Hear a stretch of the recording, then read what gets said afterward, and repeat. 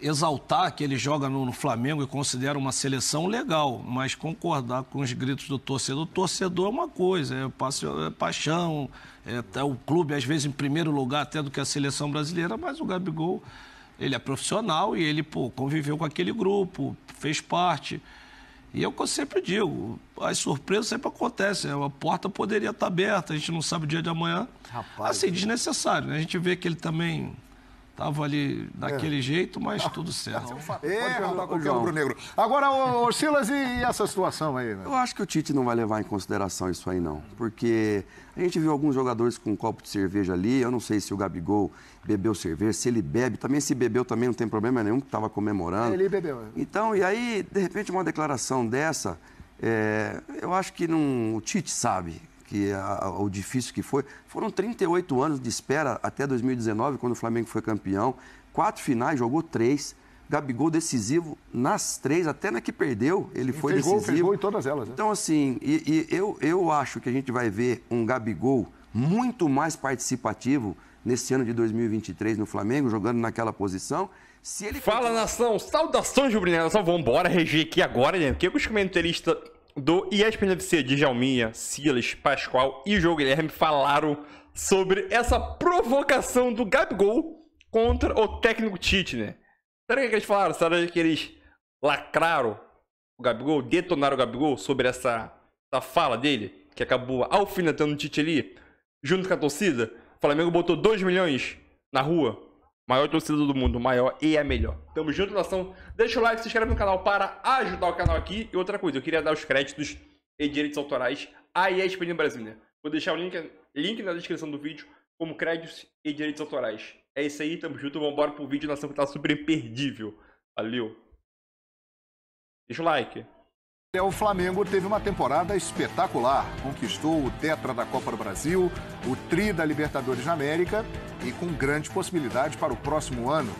E aí comemorou com duas semanas de atraso, porque teve a eleição, né, um dia após a conquista da Libertadores da América, e duas semanas depois o Flamengo levou, segundo a Polícia Militar do Rio de Janeiro, 2 milhões de pessoas ao centro da cidade do Rio de Janeiro.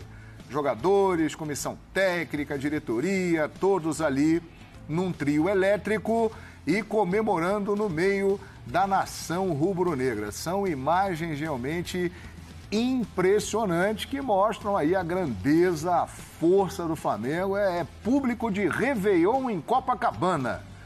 2 milhões de pessoas num domingo, nove da manhã, e ali o Gabigol e o Vidal, que se destacaram aí no meio da galera. E estavam daquele jeito, é, o Gabigol abraçado com a Libertadores, o Vidal mostrando na Copa do Brasil, todo mundo comemorando comemorando e muito essas conquistas importantes, hein, Djalminha? Ah, hora de comemorar, né? Campeonato finalizado, realmente foram duas conquistas importantíssimas, né? A Copa do Brasil e a Libertadores muito mais eles têm que comemorar mesmo. Eu acho que é, uns se passaram um pouco, mas faz parte, né? Já, praticamente já estão de férias, né? Então, é, ainda mais com, com esses torcedores ali é, vibrando e apoiando, sem dúvida alguma, eles se empolgaram ao máximo, merecido. Apenas ali uns detalhes que foram desnecessários, na minha opinião. Acho que o Gabigol poderia é evitar né, essa, essa declaração, porque futebol a gente não sabe, né? Sempre tem. Ninguém está torcendo aqui para que aconteça nada com nenhum jogador, mas ele é um cara que estava cotado e com as declarações bem difícil caso aconteça alguma coisa com algum jogador da seleção. Olha lá, Dorival Júnior, que foi muito né, aplaudido pela torcida, a 10 é dele agora, hein? O Diego Sábado que se despediu do futebol, entregou a 10 a Gabigol. Gabigol é o novo 10 do Flamengo. E ele comandou a festa. Ele é um ídolo realmente enorme. Olha o Rodilindo, rapaz, levantando a Libertadores da América. Que momento, hein? Há uma indefinição se o Rodinei ficará ou não no Flamengo. Agora, Gabigol é impressionante como ele mexe com a torcida do Flamengo. Ele é um ídolo que não mexe só com a torcida do Flamengo, com as outras torcidas também. Ele dá o que falar e ele foi o showman. Ele comandou lá em cima do trio elétrico. E aí, a galera do Flamengo, que ama o Gabigol, ficou na bronca porque o Tite não o chamou para a Copa do Mundo. Presta atenção nesse VT aí.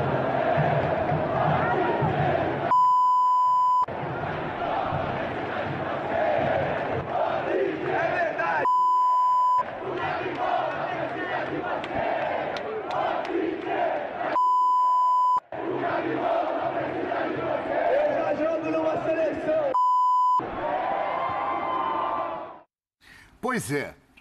O que, que aconteceu ali? A torcida do Flamengo externou a sua opinião, né, achando que o Gabigol deveria estar na seleção e cantou a musiquinha dizendo, né, é, aquilo ali que vocês viram. E aí o Gabigol entrou na onda da galera e falou: é verdade, é verdade, eu já jogo numa seleção. Ele, você falou disso aí, aí. É, eu acho que assim, eu exaltar que ele joga no, no, Flamengo e considera uma seleção legal, mas concordar com os gritos do torcedor, torcedor é uma coisa, é, é paixão, é, é, o clube às vezes em primeiro lugar até do que a seleção brasileira, mas o Gabigol, ele é profissional e ele pô, conviveu com aquele grupo, fez parte. E é o que eu sempre digo, as surpresas sempre acontecem, a porta poderia estar aberta, a gente não sabe o dia de amanhã. Rapaz, assim, desnecessário, né? A gente vê que ele também Tava ali daquele é. jeito, mas tudo certo. é, rapaz. Pois é, é. Obviamente que o Gabigol esperava estar na Copa do Mundo, todo jogador quer estar numa Copa do Mundo, e ali, no auge da comemoração, com milhões de pessoas cantando ali, ele foi no embalo, agora já era. Tá aí. E aí, Pascoal e Silas, hein? Às vezes a euforia leva a situações é. delicadas. A né? debilidade a euforia leva a situações delicadas. Eu concordo com o Djalma. Ele está na lista dos 50. É verdade. Ah, mas vai aparecer. Não sei. Ah, o Tite não vai. Não, não sei. Já teve jogador que uma semana antes de começar a seleção brasileira foi cortado. E não foi uma vez só, não, né? É. Em, em 98, teve Emerson. o caso do Romário, né? Depois teve o caso do Emerson. O Emerson e, foi 2002? 2002. 2002. E, e, e assim por diante. Então, existem muitos fatores que a gente não é capaz de determinar. 94, o Ricardo Gomes. Ricardo, é. o, o, o, Ricardo Rocha em, 94 ainda ficou. Fico, em 90, ficou. O, em 94 o Ricardo Rocha ainda ficou. O Gomes, o Gomes foi cortado. Dirceu Toninho Cereza em 86. É. Então, sempre tem, teve. Tem, tem. Careca em 82. Careca em 82. Então sempre tem um problema que, que acontece.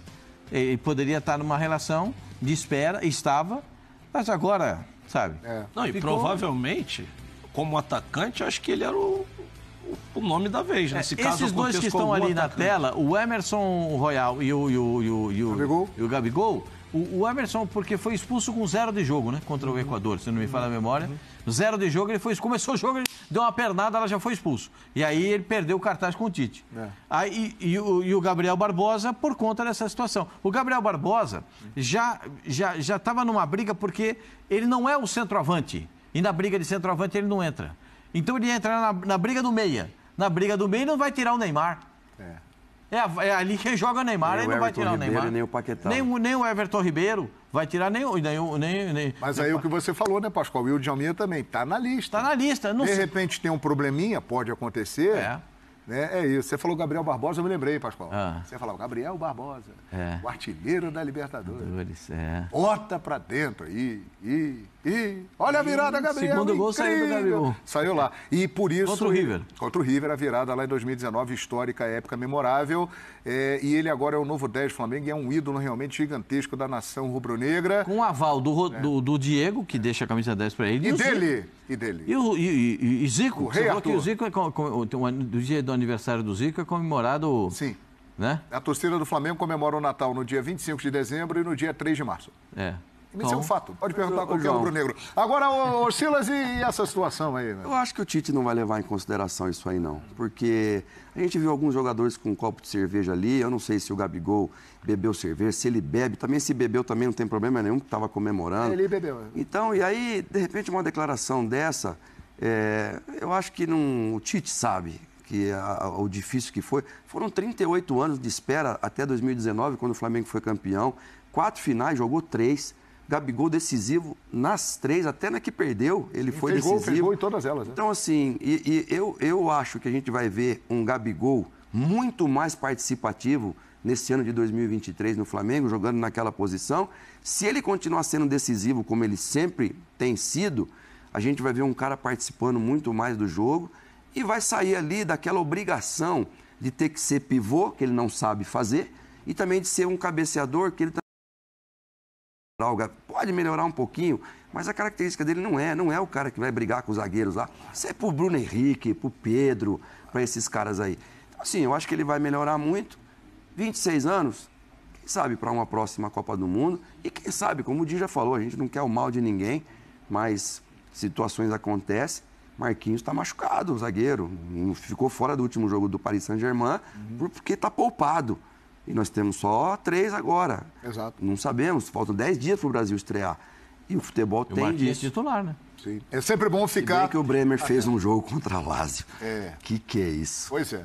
O zagueiro que está convocado. Está é, convocado o Bremer. Atropelou na reta final aí e foi para a Copa do Mundo. Aliás, daqui a pouco no Sport Center, a nossa equipe lá em Turim já acompanhando, Pedro Ivo Almeida e todo o nosso time, acompanhando os primeiros dias de treinamento da seleção antes de embarcar para o Catar. Uma outra notícia importante no Flamengo, hein? Felipe Luiz, contrato renovado por mais uma temporada que provavelmente será a última dele como jogador, de Almeida. Ah, mais do que justo. Acho que o Felipe fez uma excelente temporada, né? Porque muitas vezes as pessoas é, falam da idade, mas se o cara está rendendo, não tem idade. Ele, ele, jogou, jogou muito bem, teve a infelicidade ali na, na, só na final, né, que saiu, mas que acabou sendo positiva para o Flamengo, né, que o Ayrton Lucas causou a expulsão, mas mais do que merecido. Outro dia até conversei com ele, eu falei, se não tivesse essa idade, estava na lista da, da, seleção. Ele falou, pô, dois aninhos menos eu também acho que eu estava.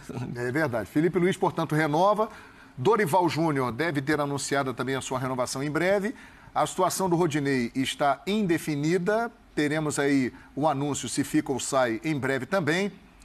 E atenção, em mercado da bola. Gerson chegou ao Rio de Janeiro no último sábado, à noite. As negociações continuam entre Flamengo e Olympique de Marselha pelo valor a ser pago, a forma de pagamento mas há uma tendência realmente que Gerson volte para o Flamengo. É a vontade do jogador, é a vontade do Flamengo. O Olympique de Marselha está negociando, então tudo caminha para que realmente Gerson volte para o Flamengo.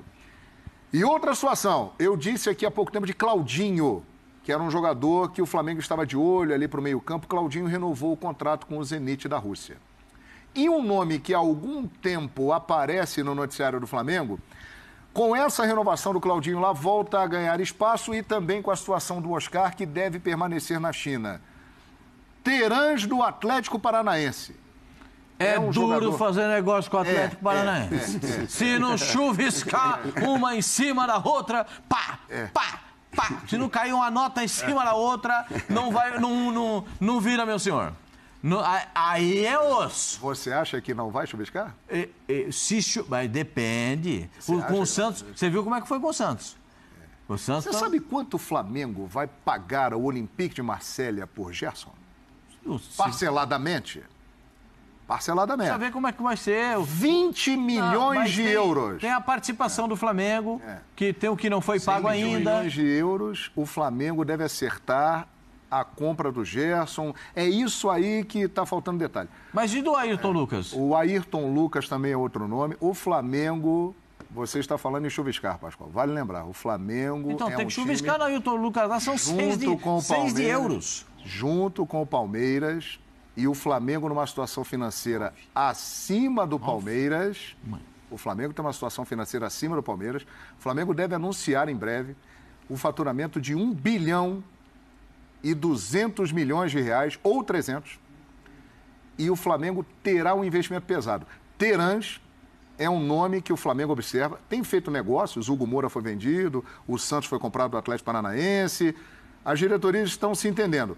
É um nome que o Flamengo tem ali na sua lista para buscar para uma reposição para a Rascaeta e Everton Ribeiro. Poderemos ter dois uruguaios o, o, o, aí na meia do Flamengo, hein? Você falou é. o, Claudinho, o Claudinho assinando o contrato lá na, é. Lá na Rússia, ele derrubou dois aqui. Exatamente. O Palmeiras e o Flamengo. Exatamente, os dois mais ricos. Então, Terãs é um Terãs nome... Tá na Copa? É, o Terãs não. Não. Mas é um nome Mas que o Flamengo está de olho, hein?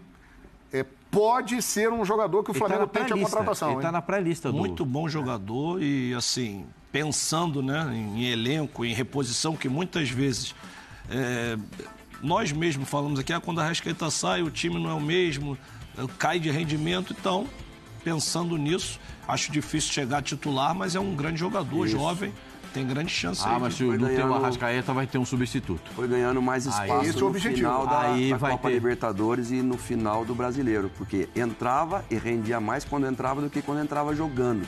Lá na Argentina entrou, arrebentou com o jogo, faz a jogada do gol do Vitor Roque que tira o Estudiantes e depois contra o Palmeiras aqui faz o uhum. segundo gol que classifica praticamente o Atlético Paranaense. Então, mas é um bom jogador. É isso aí. Terãs, hein? É um nome que o Flamengo tem lá nas suas pretensões. Se vai contratar, o tempo vai dizer. Um abraço, Djalminho. Um abraço.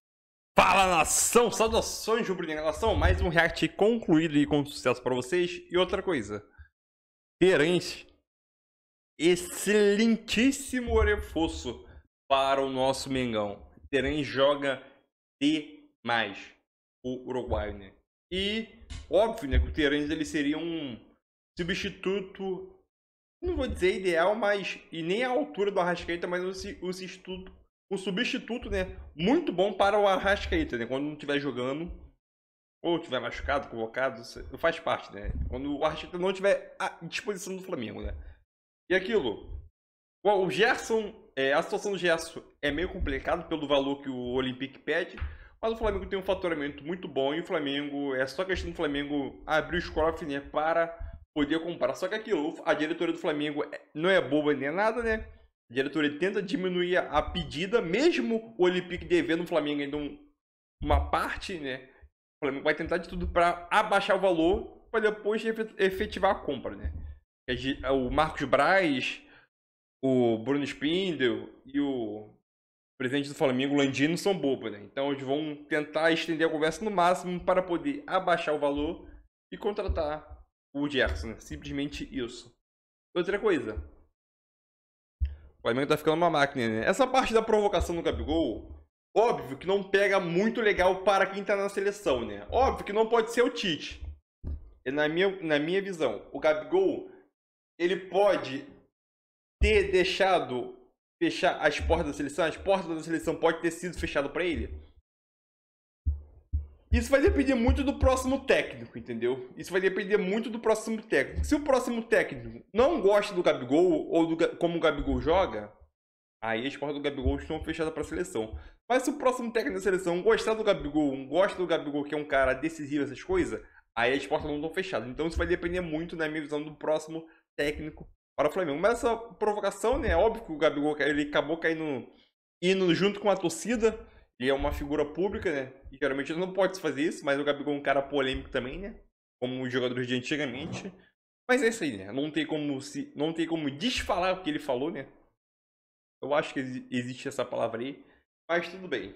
Tamo junto, nação. É isso aí. Eu quero saber a tua opinião, o que você achou é, dessa fala do Gabigol, né? Se vai interferir ou não. E outra coisa, Felipe Luiz renovou, né? Eu gostei da renovação de contrato com o Felipe Luiz. Pra mim, o Felipe Luiz não vai ser titular. Não vai ser titular. Deve ser, vai ser titular essa temporada agora. O Ayrton Lucas. Mas o Flamengo tem que comprar ele agora, né? tem que comprar. Mas o Ayrton Lucas vai ser o titular. E o Felipe Luiz no reserva, né? Ou nos principais jogos ali, né? É isso aí, nação. Tamo junto. Deixa... Ainda tem o Ramon. O Ramon ainda tá voltando pro Flamengo, né? Tá retornando ao Flamengo que estava emprestado ao Bragantino. Então é isso aí. Tamo junto, nação. Deixa o like, se inscreve no canal para ajudar o canal aí. É isso aí, tamo junto. É nós, nação. E outra coisa. O Flamengo é tricampeão. tamo junto, valeu!